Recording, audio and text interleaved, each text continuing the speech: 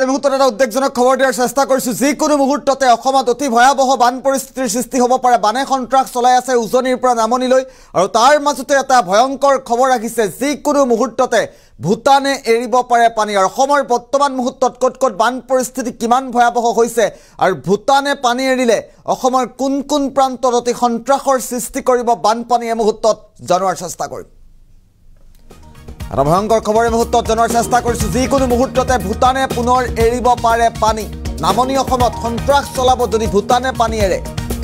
নামনিত শংকাৰ ভয়ৰ শংকা এতিয়া বৃদ্ধি পোৱা পৰিলক্ষিত হৈছে।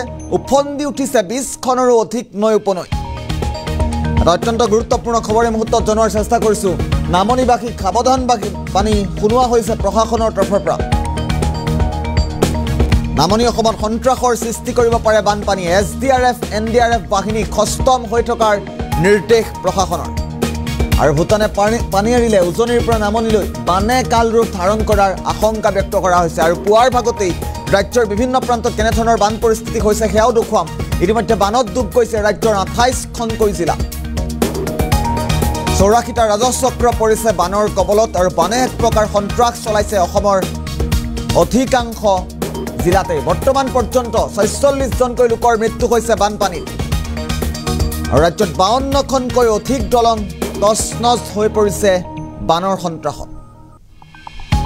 বিছ লাখৰো অধিক লোক গৃহহাৰা হৈছে বানপানীৰ ফলতেই। ৰাজ্যত বানে সন্ত্ৰাস চলোৱা পৰিলক্ষিত হৈছে। যিকোনো মুহূৰ্ততে এবাৰ ভূটানে পানী এৰি দিব পাৰে। আৰু পুৱাৰ ভাগত ৰাজ্যত ক'ত ক'ত কেনেধৰণৰ বান পৰিস্থিতি হৈছে বানে কিদৰে সন্ত্ৰাসৰ সৃষ্টি কৰিছে ৰাজ্যৰ বিভিন্ন প্ৰান্তত এই মুহূৰ্তত আমি দৃশ্যাংশ আহি পৰিছে। পোনে পোনে দৃশ্যাংশ দেখুওৱাৰ চেষ্টা কৰিম। কালি নিশা সন্ত্ৰাস চলোৱাৰ পাছত পুৱাৰ ভাগত কি ধৰণৰ অবৰ্ণনীয় পৰিৱেশৰ সৃষ্টি হৈছে আমি এক্সক্লুচিভ এই মুহূৰ্তত দেখুৱাইছোঁ।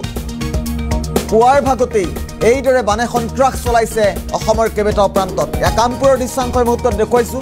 কামপুৰত এইদৰে বানে সন্ত্ৰাস চলাইছে। বিছখনৰো অধিক নৈ উপনৈ উফন্দি উঠিছে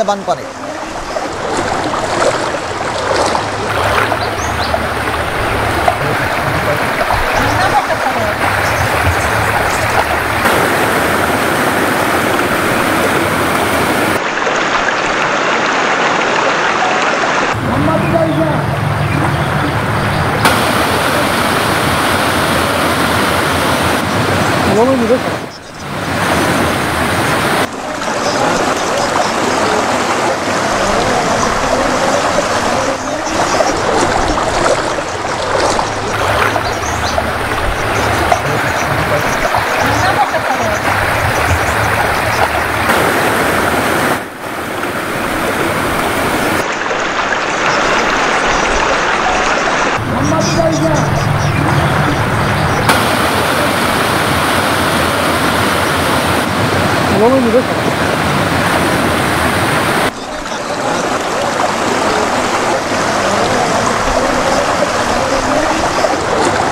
আমি মুহূৰ্তত দৃশ্যাংশ দেখুৱাইছোঁ কামপুৰত পুৱাৰ ভাগত এইদৰে বানে সন্ত্ৰাস চলাইছে। আমি দুটাকৈ দৃশ্যাংশ যদি সম্ভৱ হয়, একেলগে দেখুৱাৰ চেষ্টা কৰিম। ইতিমধ্যে বানত বুৰ গৈছে কেইবাটাও অঞ্চল কেইবাখনো জিলাত ইতিমধ্যে বানে অতি সন্ত্ৰাস চলোৱা পৰিলক্ষিত হৈছে চৌৰাশীটা ৰাজচক্ৰ বানৰ কবলত পৰিছে। আমি দুটাকৈ দৃশ্যাংশ একেলগে দেখুওৱাৰ চেষ্টা কৰিছোঁ। পুৱাৰ ভাগতে ৰাজ্যৰ বিভিন্ন প্ৰান্তত এয়া বান পৰিস্থিতি অপৰিৱৰ্তিত হৈ পৰিছে। অতি ভয়াৱহ পৰিস্থিতিৰ গতি কৰিছে অসম। নামনি অসমত বানৰ সন্ত্ৰাস চলা পৰিলক্ষিত হৈছে। উজনিৰ সন্ত্ৰাস চলাইছে। আৰু এইবাৰ ভয়ংকৰ খবৰটো এই যে ভূটানে যিকোনো মুহূৰ্ততে বানপানী পানী এৰিব পাৰে। আৰু ভূটানে পানী এৰিলে অসমত সন্ত্ৰাসৰ সৃষ্টি হ'ব।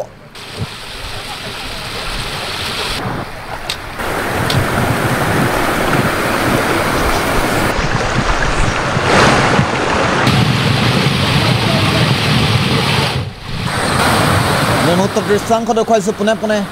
ৰাজ্যৰ বান পৰিস্থিতি বানৰ শেহতীয়া পৰিস্থিতি আজি পুৱাৰ ভাগত কেইবাখনো জিলাত সন্ত্ৰাসৰ সৃষ্টি কৰিছে বানপানী আৰু বানপানীৰ ফলত ইতিমধ্যে সকলো অৱগত। বিলাই বিপত্তি নোহোৱা হৈছে সাধাৰণ লোকৰ। মন্তব্য আছে কিছু সাধাৰণ লোকৰ। পোনে পোনে মন্তব্য শুনোৱাৰ চেষ্টা কৰে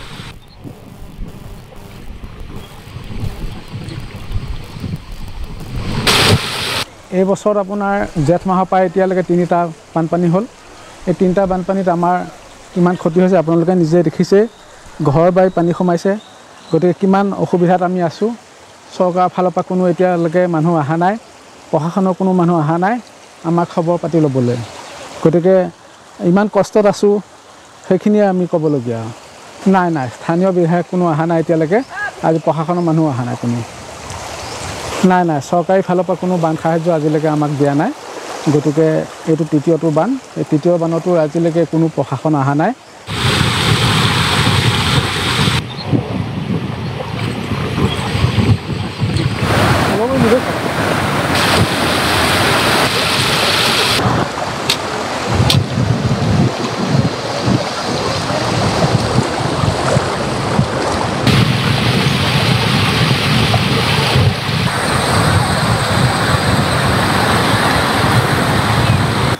ক্ষতিৰ পৰা যদি চাব যাওঁ জলসম্পদ আৰু আন গোটেইকেইটা বিভাগৰ আমি যদি এটা কিউমিলেটিভ ডেটা চাওঁ তেতিয়াহ'লে এইবাৰ চল্লিছটা মথাউৰি এই ঘটনাত বা এই বানপানীৰ সময়ত ক্ষতিগ্ৰস্ত হৈছে।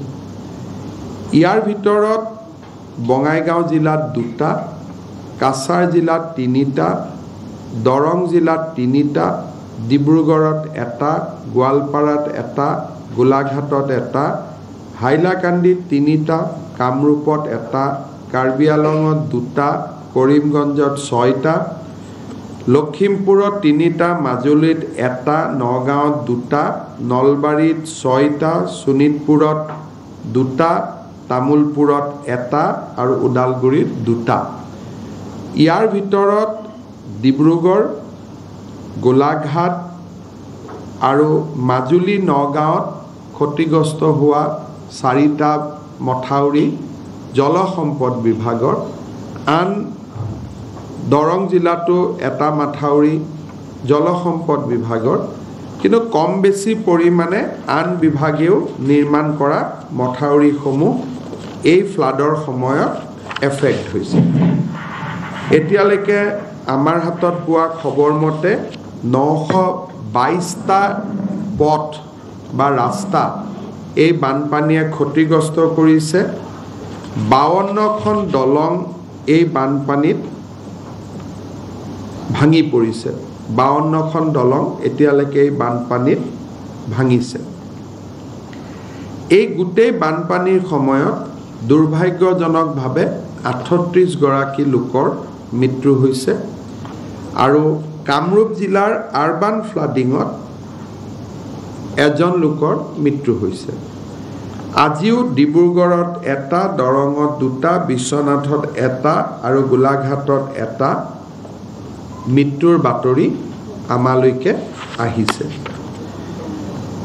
বানপানীৰ সময়ত এন ডি আৰ এফৰ কেইবাটাও বেটেলিয়নে ইয়াতে কাম কৰি আছে।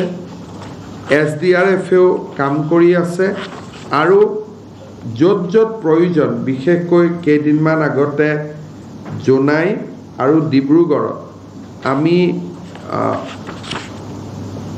মেৰুণ হৈ থকা এছ ডি আৰ এফৰ জোৱান আৰু জনসাধাৰণক উদ্ধাৰ কৰিবৰ কাৰণে আমি বায়ু সেনাৰো সহায় লৈছোঁ। আৰু এই মুহূৰ্তলৈকে আমি যথেষ্ট লোকক আমি সহায় কৰাৰ বাবে চেষ্টা কৰিছোঁ প্ৰয়োজনীয় পুঁজি জিলা উপায়ুক্তসমূহলৈকে মুকলি কৰি দিয়া হৈছে।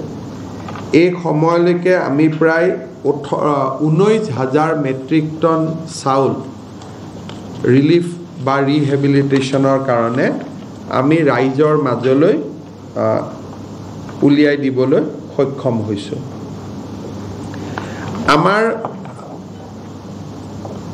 লক্ষ্য হৈছে যে দুৰ্যোগৰ সময়ত যিখিনি ৰাইজ আক্ৰান্ত হৈছে যোৱা কালিৰ পৰা বানপানী অকণমান হ্ৰাস পাইছে। আমি আশা কৰিব পাৰোঁ যে নতুনকৈ যদি বৰষুণ নহয় তে দ্বিতীয় ৱেভটোৰ যিটো প্ৰভাৱ সি অহা দুদিনৰ ভিতৰত নিৰাময় হ'ব। কিন্তু আগৰ অভিজ্ঞতা মতে জুলাই মাহত থাৰ্ড ৱেভ এটাও আহে। আগত আমি first wave second wave third wave তিনিওটা ৱেভ সম্পূৰ্ণ হোৱাৰ পিছত আমি ডেমেজ এছেছমেণ্ট কৰিছিলোঁ। কিন্তু আজি আমি কেবিনেটত নিৰ্ণয় ল'লোঁ যে ফাৰ্ষ্ট ছেকেণ্ড থাৰ্ড যিমান